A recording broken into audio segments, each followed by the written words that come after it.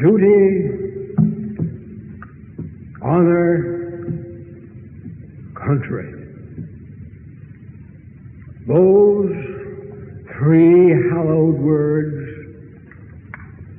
reverently dictate what you ought to be, what you can be, what you will be. They are your rallying points.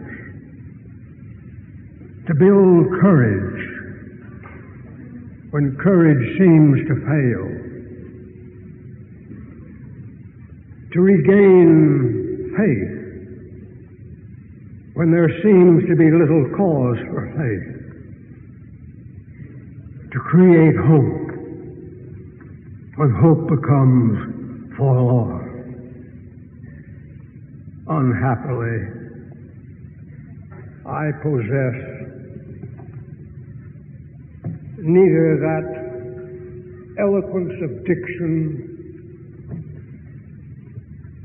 that poetry of imagination, nor that brilliance of metaphor to tell you all that they mean. The unbeliever will say they are but words, but a slogan, but a flamboyant phrase. Every pedant, every demagogue,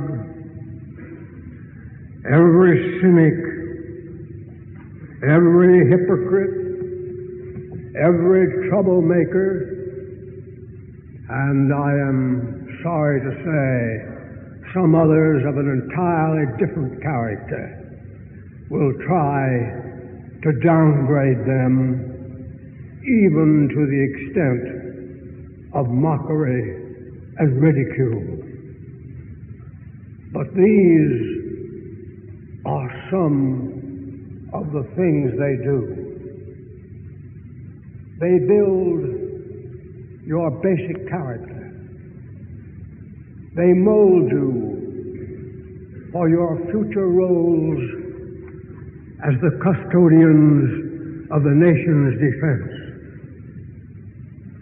They make you strong enough to know when you are weak and brave enough to face yourself when you are afraid. They teach you to be proud and unbending in honest failure, but humble and gentle in success.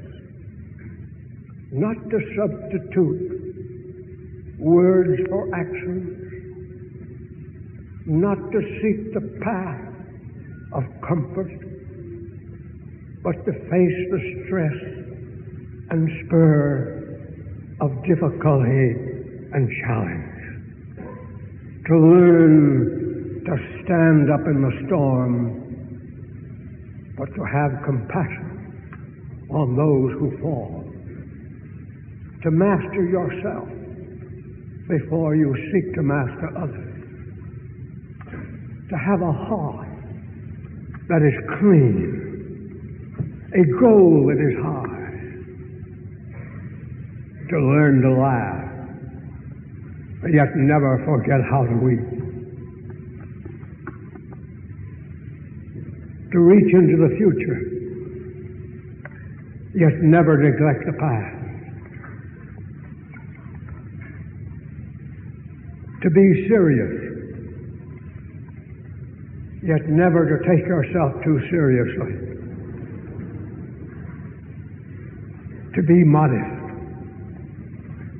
so that you will remember the simplicity of true greatness, the open mind of true wisdom, the meekness of true strength. They give you a temper of the will a quality of the imagination, a vigor of the emotions, a freshness of the deep springs of life, a temperamental predominance of courage over timidity, of an appetite for adventure over the love of ease. They create in your heart the sense of wonder, the unfailing hope of what next, and the joy and inspiration of life. They teach you in this way to be an officer and a gentleman.